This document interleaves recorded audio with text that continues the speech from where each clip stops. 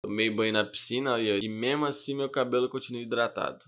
Meus queridos, começando mais um videozinho pra vocês de notícia. Fiz semana passada um vídeo sobre notícias começando o ano, né? O primeiro vídeo de 2021. E como vocês gostaram, então resolvi fazer outro com as notícias da semana. Tiveram várias notícias aí, hein? Então vamos pro vídeo. Não esquece de deixar tua curtidinha e se inscrever no canal. Vamos, querido! Primeira notícia: estudante ganha vacinação contra Covid em supermercado nos Estados Unidos. Atacadão da vacina. Tinha estudantes no supermercado, aí tinha o pessoal da saúde lá aplicando vacina. Parece que a moça chegou pros queridos e falou assim: ó, tô com uma vacina aqui, 10 minutos vai fechar o mercado. Vocês querem? Não tem mais ninguém no grupo de risco aqui. Amanhã a gente não pode usar essa vacina porque ela vence. Vocês querem? Vamos? Tá aqui já, ó. Só levanta a manga. Os queridos nem bobo nem nada, né? É, pode dar-lhe de graça até injeção na testa. Putz.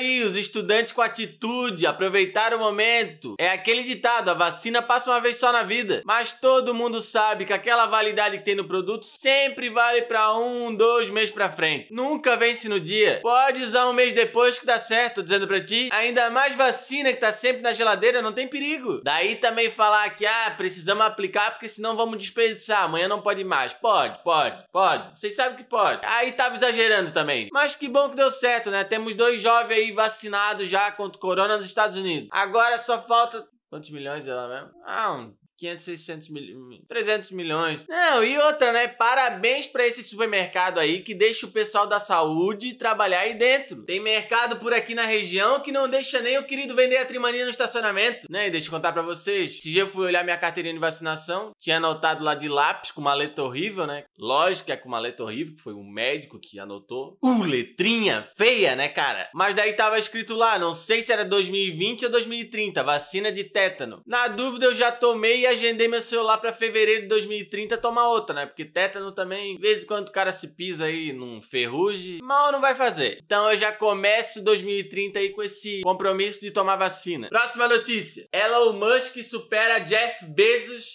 É Bezos? É beijo de Bezos? Ah, e se torna a pessoa mais rica do mundo. Elon Musk é aquele lá que vende carro com extensão, né? Que o cara tem que ficar carregando por aí. É, mas eles fazem essas pesquisas com o dinheiro que o pessoal tem no banco. Elon Musk é o mais rico do mundo. Isso porque vocês não conhecem o Wilson Giota. O que o Wilson Giota tem de dinheiro enterrado por aí, né? Ele e o Pablo Escobar estão ali, ó. A diferença é que o Wilson é certinho mesmo, né? Só empréstimo e juro atrás de juro, mas tem dinheiro. Quando eu li essa notícia, eu pensei, esse cara é aquele lá do perfume da Avon? Será que ele ficou rico assim só vendendo perfume da Avon? Ora, Tia Luzia trabalha pra ele, então toda a vida tá aqui em casa com um livrinho pra galega ver. Ela me fala, ah, esfrega, esfrega aqui pra sentir o cheiro. Esfrega, esfrega, e na página só tem cheiro de papel, aquilo lá, nunca sinto cheiro de perfume. Daqui a pouco a tia Luzia tá rica também, então. Ó, curiosidade sobre o Elon Musk. 2020 o empresário se desfez de todas as casas que possuem seu nome. O plano é usar o máximo de recursos possíveis para colonizar Marte. Pra quê? Me diz! Deixa os marcianos lá, querido. Tu acha que os marcianos estão precisando de carro elétrico agora? Não, a bobado da bronha, né, cara? O ser humano é bichos olhudo, né, cara? Já acabamos com a Terra, agora quer ir lá destruir Marte. O Elon Musk é o novo Pedro Álvares Cabral, vai chegar lá em Marte querendo dar carro elétrico pros marcianos. Né, e já pensar se chega lá é tomada três pino? Olha a trabalheira que vai dar. Quem que vai estar tá lembrando de levar um adaptador junto, me diz?